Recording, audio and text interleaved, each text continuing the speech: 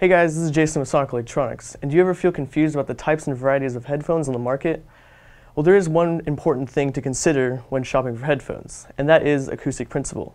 In the world of headphones, acoustic principle refers to the basic design of the headphones, and there are three different types. There's open, closed, and semi-open. Now open headphones have ports that allow air through the back of the diaphragms enabling the headphones to sound like the music is coming from an outside source. The open design has its advantages in that there is almost no chance for sound to bounce off the back of the headphones and create an echo or interfere with the drivers. They generally offer the best acoustic reproduction in terms of clarity and detail. Most consider the open back to be better for sound staging as well, as the source sounds like it's coming from outside the headphone. Due to the open design, these headphones also tend to leak more into the environment. Closed headphones are completely sealed and have no air passing through the diaphragms.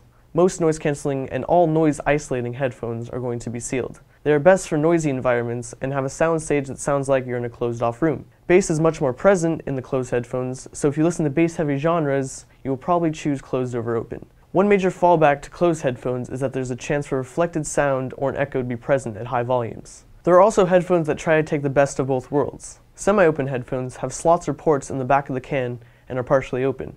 This allows for a mixed sound between an open and a closed headphone. Some companies such as Beyerdynamic have released headphones with adjustable sound profiles, such as their Custom One Pros, and this literally allows you to change the acoustic of the headphone. In this case, the custom ones have a sliding adjustable port. So to conclude, open back designs are great for a more detailed analytic sound, but are more susceptible to background noise and leak more into the environment. Closed back will give you a punchier, more dynamic sound with superior isolation, yet they have a much more restricted and narrow sound transfer. And semi-back will offer a balanced mix between the two. So no matter what your musical style or preference, there will always be a headphone that will optimize your listening experience. I'm Jason with Sonic Electronix, and remember, Sonic Electronix is your one-stop shop for everything headphones.